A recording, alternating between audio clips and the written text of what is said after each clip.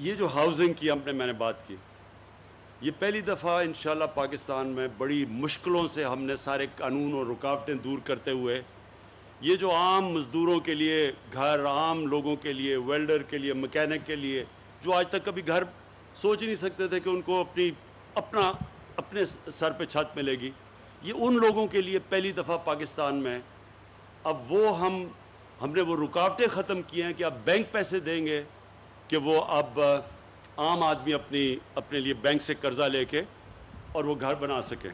तो इन मुझे ये जो आपका पता चला कि पाँच साल में वो जो आप आप इस वक्त कहा जा रहा है कि पाँच साल में पूरी किस्तें करें, वो इन हम आपकी किस्तें लंबी कर देंगे ताकि ज़्यादा बोझ, यानी कि एक आदमी जितना घर का किराया देता है, उतनी किस्त होनी चाहिए ताकि वो किस्त बजाय किराए पे जाए, वो किस्त दे और अपना उसका घर हो जाए। मैं दो साल पहले आके ग्राउंड ब्रेकिंग की थी, ममान डैम की। तो आज जब मैंने वो जो ममान डैम देखी है, माशाल्लाह वो पूरा कोरोना के बावजूद पूरा उसके ऊपर काम हो रहा है और 2025 में ये डैम बन जाएगी।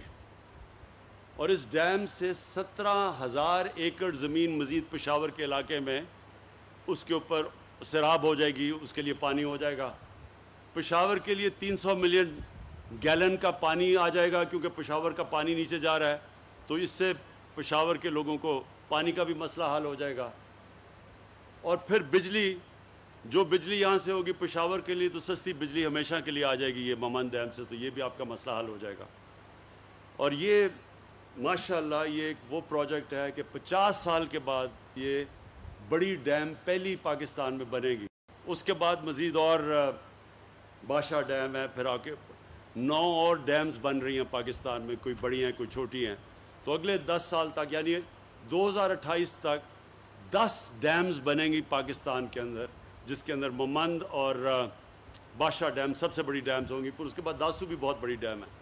तो ये एक पहली दफ़ा हमने इसका नाम रखा है डेकेड ऑफ़ डैम्स कि 10 साल के अंदर डैम्स जो कि 50 साल पहले हमें बनानी चाहिए थी, वो इन अब सारे पाकिस्तान में, क्योंकि आगे बहुत बड़ा मसला आ रहा है पानी का। और फिर, क्योंकि हमारे फ़ूड आबादी बड़ी तेज़ी से बढ़ रही है तो वो फ़ूड सिक्योरिटी का।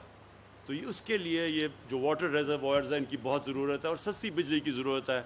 बदकस्मती से हमने डैम्स और बनाई नहीं, पाकिस्तान में तो पचास हज़ार मेगावाट का हम पानी से बिजली बना सकते थे। और हमने, क्योंकि नहीं बनाई तो इतनी महँगी बिजली आज पाकिस्तान को पड़ रही है और कर्ज़े भी, मुल्क को भी मकरूज़ किया हुआ है।